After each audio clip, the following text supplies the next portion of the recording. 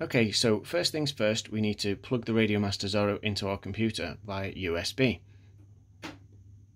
Now, once you've done that, this will message will pop up and you select USB storage.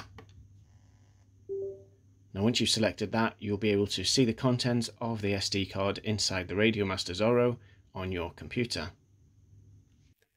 So now that we've got the Radiomaster Zorro plugged into the computer, we can open File Explorer we can actually see down here that we've got uh, a USB drive, which is the SD card. I'm just going to place that over there. Now the next thing we need to do is open your web browser and go to this address. I'll put a link to that in the description. Now this is a version of the iNav Lua telemetry script which will run on the Radiomaster Zorro. So what we need to do here is right click this zip file and save link as.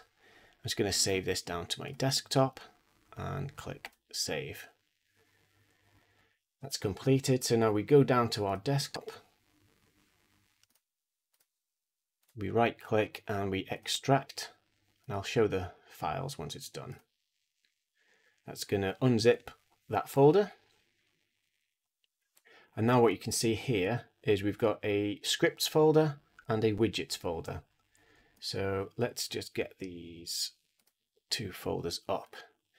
What you need to do now is highlight these two folders, right click and copy, and then in your SD card on the radio, right click and paste. Now I've actually already done this, but I'm going to replace the files anyway.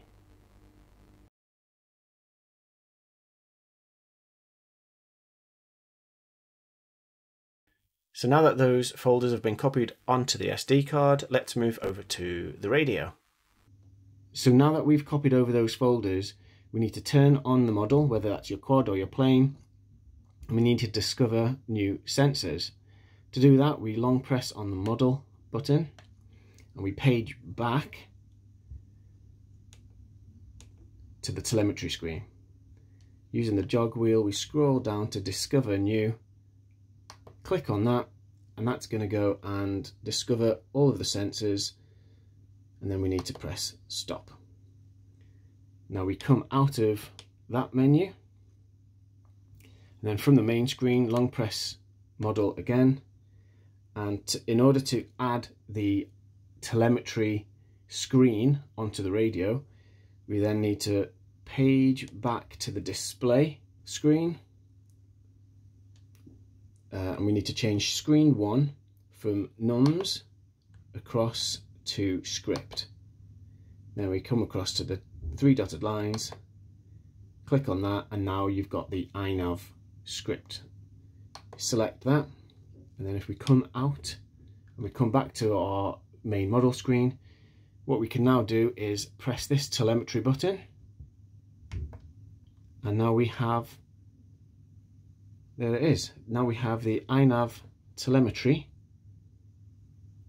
on your Radiomaster Zorro.